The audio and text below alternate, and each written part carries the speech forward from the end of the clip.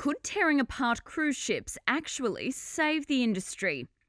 Business is booming at a sea dock in Aliaga on Turkey's west coast, where five cruise ships are being dismantled for scrap metal sales after lockdowns all but destroyed the industry. In March, US authorities issued a no sail order for all cruise ships that remains in place. But on Friday, dozens of workers stripped walls, windows, floors, and railings from several vessels. Three more ships are set to join those already being dismantled. Kamil Önal is chairman of the Ship Recycling Industrialists Association. He says they're turning the crisis into an opportunity for growth.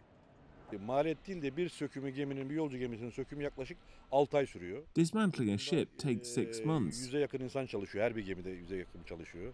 Hani eee, 100 workers work on each ship.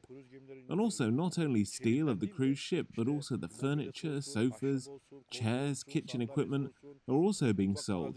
Bunların hepsini tek tek değerlendiriyoruz. Bir de ekonomiye böyle bir katkımız var. So we add value to our economy. Lots of hotel firms are now in our establishment to buy those things.